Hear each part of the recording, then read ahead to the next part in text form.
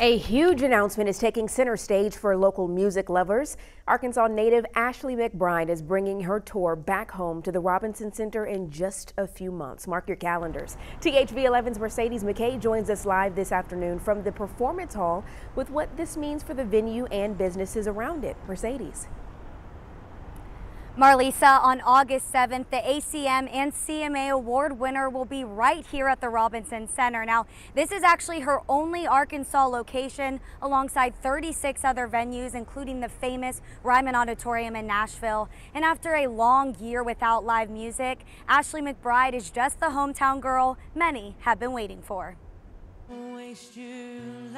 Arkansas, born and bred. Um, she is fantastic. We we love her. Uh, Arkansas's uh, country music daughter. There, there, are very few people who could be better ambassadors uh, of the state of Arkansas than Ashley McBryde. It's music to Arkansans' ears. The award-winning singer-songwriter is hitting the stage in summer of 2021 and coming back to the state that raised her. It's very thrilling um, that you have such a superstar like Ashley McBryde, who really is on the forefront of the country music scene right now. For the Little Rock Convention and Visitors Bureau, communications manager Libby Lloyd says McBryde performing on their stage is just the sellout show they're looking for after COVID 19 left these seats vacant for so many months. Tourism was one of the hardest hit industries uh, due to the COVID 19 pandemic, and we will be one of the, the last to recover. Recovering means being able to hire back staff again, but some logistics for the concert in August aren't squared away just yet. Right now shows that the theater aren't at full capacity and masks are required.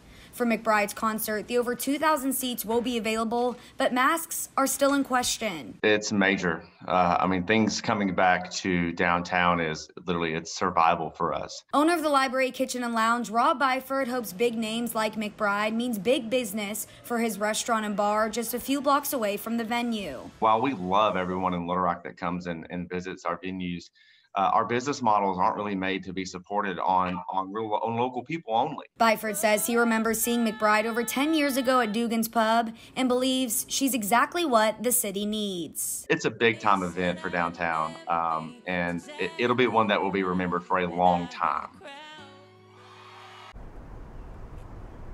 Tickets go on sale this Friday at 10 a.m. And personally, I will be there on my computer ready to snag some. I actually saw Ashley McBryde a couple years ago and even met her, picture to prove it. And she's just as nice in person and just as good of a performer in person. I may or may not have sang a couple bars with her, but that's a story for another time. Marlisa, back to you.